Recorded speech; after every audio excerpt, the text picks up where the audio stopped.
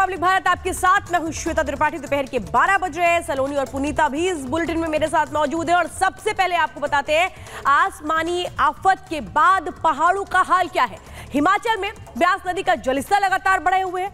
भूस्खलन की खबरें निकलकर सामने आ रही हैं। जो घर है, वो किस तरह से, जो बढ़े हुए जल स्तर है नदियों की, उनकी जद में आ रहे हैं। ये अलग अलग पाँच तस्वीरें हम आपको दिखा रहे हैं, चाहे फिर शिमला हो, मंडी हो, कुल्लू हो बादल फटने से चारों तरफ़ सिर्फ़ और सिर्फ़ तबाही की तस्वीरें नज़र आती हैं। अंदाज़ा आप लगाइए, मंडी में जो तस्वीरें इस वक्त हम आपको दिखा रहे हैं क्योंकि बाँध भी यहाँ पर टूटे हैं, जिससे जो जल का प्रवाह है, वो बहुत तेज़ी के साथ बढ़ता हुआ नज़र आ रहा है और ये पाँच तस्वीरें डराती हैं और पाँच तस्वीरें चिंता भी बढ़ाती हैं। कि अंदाज़ा लगाइए, ये जो जो लोग होंगे, इनके आसपास यहाँ पर जो लोग रहते होंगे, क्योंकि हम आपको दिखा रहे हैं, जो मलबा है, वो किसी सड़कों पर आ चुका है। कुल्लू की तस्वीरें भी हम आपको दिखा रहे हैं और इसीलिए चिंता ये बढ़ती है कि आखिर ये जो आसमानी आफत है, इसके बाद के जो हालात होते हैं, उनको कैसे कंट्रोल किया जाए?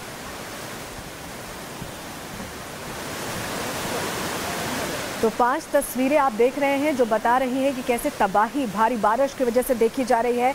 वहीं भारी बारिश से हिमाचल प्रदेश में हाहाकार मचा हुआ है। आप तस्वीरें देख रहे हैं कैसे जलस्तर खतरनाक स्तर पर पहुँच गया है। कुल्लू, शिमला, मंडी सब जगह सैलाब नज़र आ रहा है। शिमला में नदी किनारे स्थित शिव मंदिर जो था वो जलमग्न हो गया है हिमाचल की भी हम आपको तस्वीरें दिखा रहे हैं यहाँ पर बाँध टूटने से कैसे हालात हैं आप अलग अलग जगहों पर देख पा रहे हैं और स्थिति बद से बदतर हो रही है बारिश के बाद तबाही की तस्वीरें अलग अलग जगहों से हिमाचल की बात करें उत्तराखंड की बात करें वायनाड से भी कल भूस्खलन की तस्वीरें सामने आई थी अभी भी वहाँ पर रेस्क्यू ऑपरेशन चल रहा है तो यही हालात लगातार यहाँ चिंताजनक बने हुए हैं। वहीं आपको बताएँ, हिमाचल प्रदेश के मुख्यमंत्री ने सेना से मदद मांगी। हालात जैसे खराब हो रहे हैं, तबाही जिस तरह से देखी जा रही है, वहीं 50 लोग लापता बताए जा रहे हैं इसको लेकर। सेना से हिमाचल प्रदेश ने जो मुख्यमंत्री हैं, उन्होंने मदद मांगी है। अगले 36 घंटे भी भारी बारिश की पूरी पूरी संभावना है। तो सुखू जो वहाँ के मुख्यमंत्री हैं, उन्होंने अब मदद मांगी है सेना से। अब तक दो शव बरामद हुए, अगले 36 घंटे भी भारी रहने वाले हैं हिमाचल के लिए। ऐसे में एहतियात के तौर पर पहले से ही सेना की मदद की मांग सुखू ने की है। हिमाचल प्रदेश के मुख्यमंत्री बता रहे हैं कि किस तरह से वहाँ हालात लगातार चिंताजनक बने हुए और स्थिति को काबू में करना बहुत ज़रूरी है। ऐसे में सेना की मदद की मांग उनकी तरफ़ से की गई। कल सुबह से प्रदेश में अत्यधिक बारिश हो रही थी। और आज सुबह चार चालीस के करीब क्लोड बस्ट हुए। मंडी जिला में क्लोड बस्ट हुआ, शिमला जिला में क्लोड बस्ट हुआ, कुल्लू जिला में क्लोड बस्ट हुआ। चार चालीस सुबह के वक्त हमारा रामपुर क्षेत्र में एक जगह है, जहाँ क्लोड बस्ट हुआ। जिसके कारण नदी के किनारे जो लोग रह रहे थे, उसके का, उससे काफ़ी क्षति प्रदेश को हुई। अभी तक सूचना के मुताबिक 50 लोग मिसिंग है और दो लोगों की डेड बॉडी को रिकवर कर लिया गया है। निश्चित रूप से एनडीआरएफ की टीम एसडीआरएफ की टीम और हमारे डिप्टी कमिश्नर्स, हमारे एसडीएम सब घटनास्थल पर है, पुलिस विभाग घटनास्थल पर है। सुबह से हमारे रेवेन्यू मिनिस्टर तकरीबन सात बजे से लगातार मेरे संपर्क में है।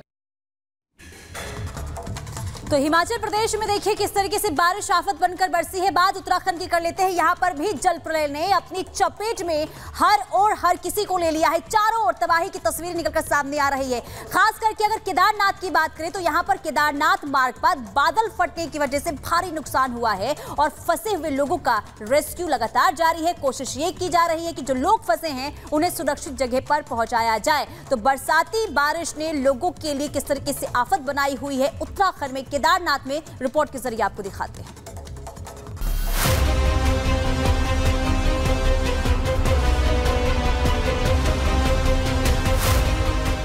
कहीं पुल बह गए, कहीं रोड धस गई, कहीं मकान बह गए तो कहीं लोग फंस गए देवभूमि में आसमानी आफत ने ऐसा कहर बरपाया है कि चारों ओर तबाही की तस्वीरें साफ़ दिख रही हैं।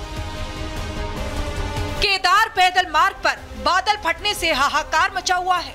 अलग अलग जगहों पर नौ लोगों की जान चली गई है और कई लोग अभी लापता बताए जा रहे हैं।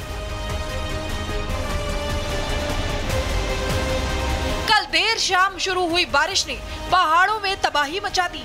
रुद्रप्रयाग के लिंचोली और टिहरी के नौतार तोक में जहाँ बादल फटने से भारी नुकसान हुआ है तो वहीं केदार घाटी में हाई अलर्ट जारी कर दिया गया है। ये तस्वीरें टिहरी के घनसाली की हैं। बादल फटने के बाद यहाँ एक ही परिवार के तीन लोग बह गए थे, जिसमें से दो लोगों की मौत हो गई, जबकि एक घायल को अस्पताल में भर्ती कराया गया है। हरिद्वार में भी आसमानी आफत ने लोगों की जान ले ली। मकान के मलबे में 11 लोग फंस गए, जिसके बाद बचाव टीमों ने अभियान चलाकर लोगों को बाहर निकाला। लेकिन तब तक दो बच्चों की जान जा चुकी थी। बाकी घायल नौ लोगों को अस्पताल में भर्ती कराया गया। ये तस्वीरें भी हरिद्वार की ही है, जहाँ सैलाब बना बारिश का पानी। नदी किनारे खड़े एक बड़े ट्रक को बहा ले गया। पानी का बहाव इतना तेज था कि ट्रक धीरे धीरे नदी में समाता चला गया। पहाड़ों पर ऐसी तबाही की तस्वीरें देखकर हर कोई डरा हुआ है। और ऊपर से मौसम विभाग की चेतावनी ने लोगों की टेंशन और बढ़ा दी है।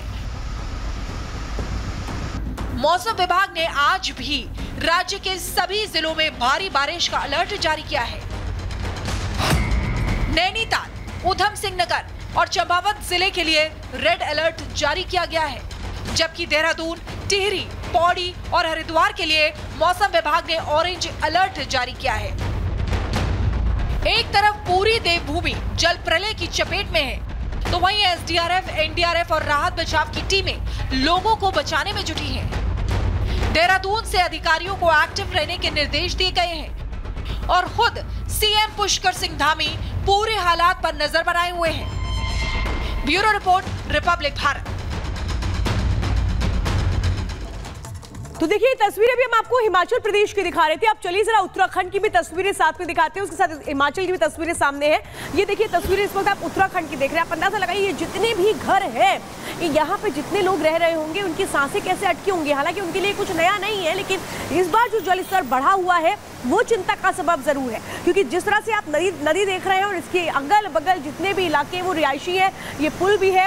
हालाँकि आप देखिए, पुल के कितने करीब तक भी पानी पहुँच पहुँच रहा है, इसी का डर है, क्योंकि देखिए, समझिए, हर एक ब्रिज के पास जो खतरे का निशान होता है, वो होता है। खतरे के निशान से ऊपर ही नदियाँ बह रही है और यही एक तरह से कहें